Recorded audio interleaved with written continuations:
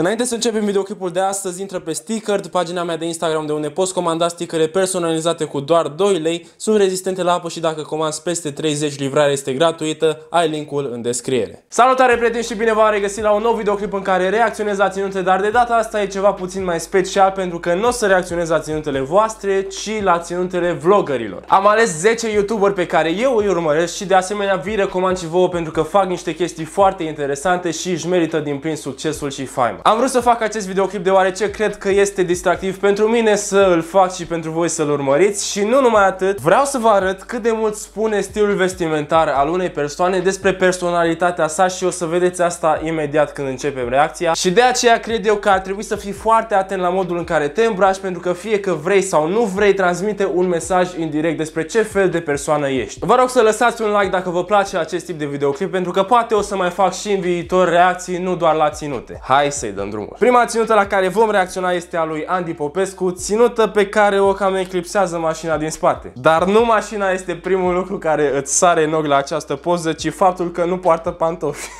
nu știu de ce a ales să nu poarte pantofi în poza asta, poate că e vreun trend, nu ceva. Andy este un tip foarte inteligent și se observă asta din modul în care vorbește, este un antreprenor, are câteva afaceri și bineînțeles e pasionat de mașini, Asta este și principala lui temă pe YouTube. Faptul că e pasionat de mașini și atenție, nu orice fel de mașini, ci mașini din alea sportive și rapide, se observă și în stilul lui vestimentar. El are un stil sportiv, adică nu prea îl vezi îmbrăcat elegant, în concordanță cu tipul de mașini care îi plac. Adică nu prea îl vezi într-un uh, Rolls Royce, mai degrabă într-un Lamborghini, pentru că oricum are unul. Așadar, Andy nu este tipul antreprenorului clasic îmbrăcat la cămașă și costum, ci este mai degrabă tipul antreprenorului care dorește să se îmbrace lejer și sportiv și poți observa acest lucru și din personalitatea lui, dar și din uh, tipul de mașini pe care le are. Mai departe îl avem pe Codrin Bradea, care la fel are un stil vestimentar care se potrivește cu personalitatea lui. Stilul lui, bineînțeles, are influențe din lumea hip-hopului, pentru că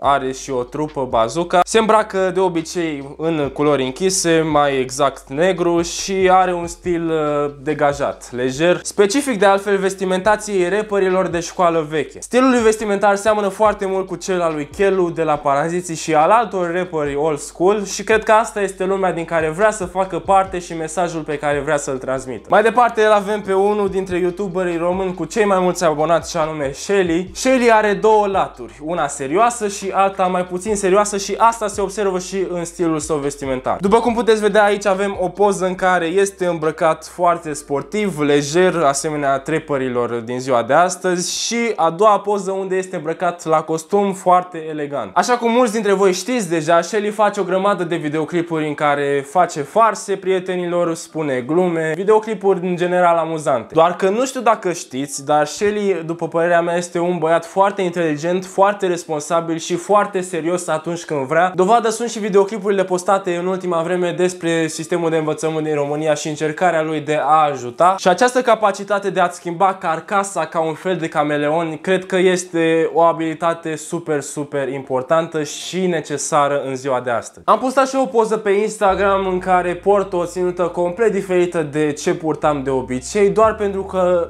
am vrut să încerc ceva nou, am vrut să arăt că există o parte din mine care este așa și am vrut să-mi arăt mie că pot să adopt și stilul ăsta vestimentar. Este foarte important să ai această diversitate, să te poți mula pe diferite stiluri. Nu numai când vine vorba de stilul vestimentar, ci și atunci când vorbești, când exprimi o idee, trebuie să ai capacitatea de a gândi pe mai multe planuri. Iar Shelly are această capacitate, știe când să glumească și când să fie serios. Iar după părerea mea, faptul că a ajuns acolo unde a ajuns n-a fost un accident. Mai departe îl avem pe Dorian Popa care este foarte energic, foarte curajos și puțin nebun, iar ținutele lui exprimă exact aceste lucruri. El poartă niște haine în culori deschise, ieșite din comun și care să îți fure ochii. Ce nu-mi place la Dorian sunt ochelarii ăia super mari ca de sudor. Am mai zis și în videoclipuri în care reacționez la ținutele voastre. A purtat un băiat genul ăla de ochelari și pur și simplu mi se par puțin prea exagerați, dar din nou sunt făcuți să îți fure ochii, iar atunci când stai lângă Dorian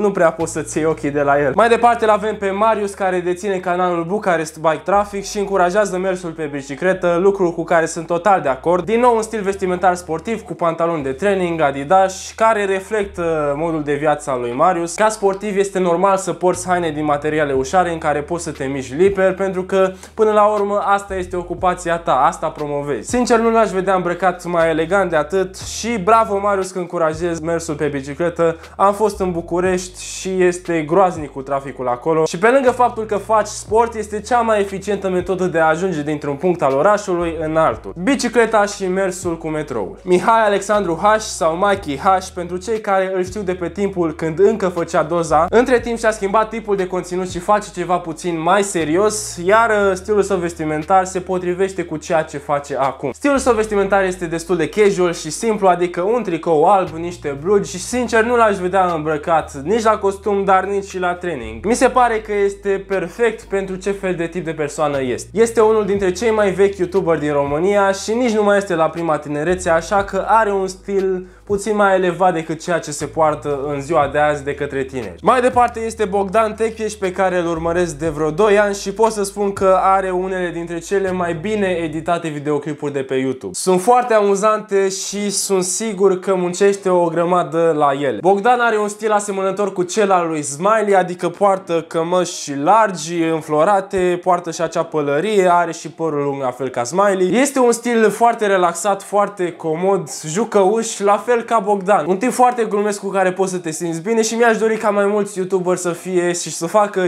genul de content pe care îl face el. Mai departe îl avem pe George Buhnici, expertul tehnologiei din România. Pe canalul lui trebuie să intri dacă vrei să afli ceva legat de telefoane, laptopuri și, mă rog, tehnologie în general. Stilul lui vestimentar, pentru că m-am uitat pe pagina lui de Instagram, este compus în general de tricouri simple sau cămăși. Și eu sunt un băiat căruia îi place să se îmbrace simplu, fără prea multe modele nebune. Totuși mi-ar plăcea să-l văd pe George complicând puțin lucrurile, adică să mai adauge ceva peste acel tricou sau acea cămașă, poate o jachetă, poate un bluzon. Și fiind un împătimit al tehnologiei, normal că are la braț un uh, ceas uh, smartwatch. Din punct de vedere al practicalității, smartwatch-urile, e adevărat, sunt superioare ceasurilor uh, normale, clasice, dar din punct de vedere al aspectului sunt mult sub ceasurile analogice. Penultimul vlogger este tot un craiovean, se pare că în Craiova s-a răsturnat carul cu vloggeri, pentru că sunt trei în această listă de 10, ultimul e tot craiovean. Este vorba de Cristi Dascălu, care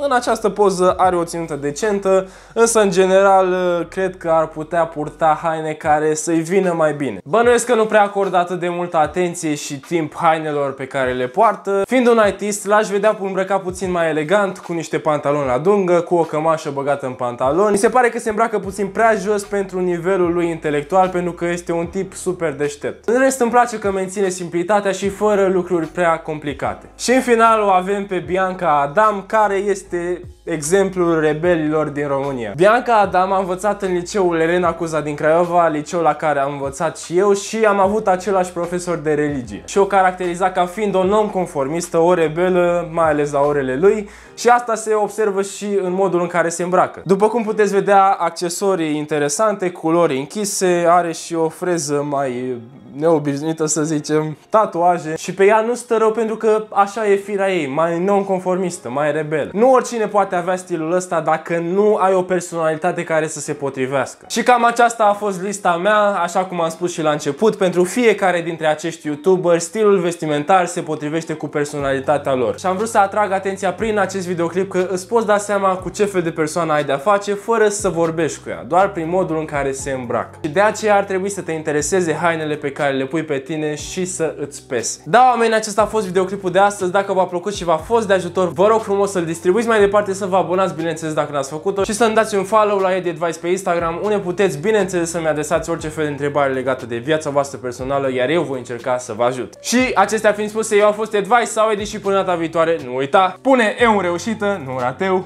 Pa, pa!